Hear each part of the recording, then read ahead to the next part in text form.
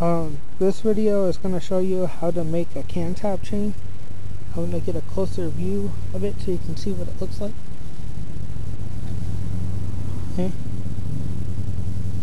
Um, you can make these as long or as short as you want.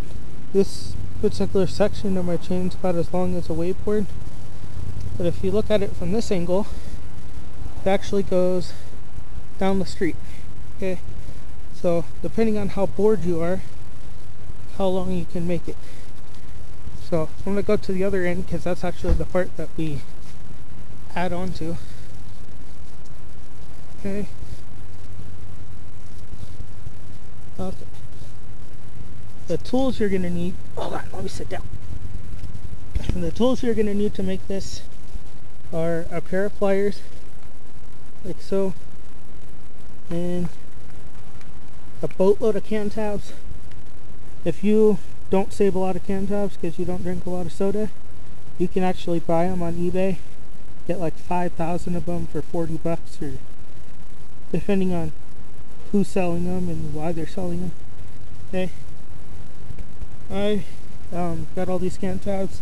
Been working on this chain for about a year and I finally got a YouTube account and a camera so now I'm going to show you how to make it.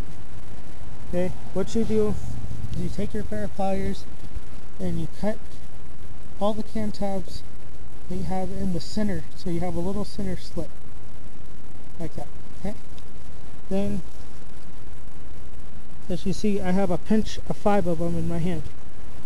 Okay, I can't really hold the camera and show you how it goes in but I'll go ahead and do the first one and then I'll show you what it looks like, okay? Maybe I can hold it. Okay.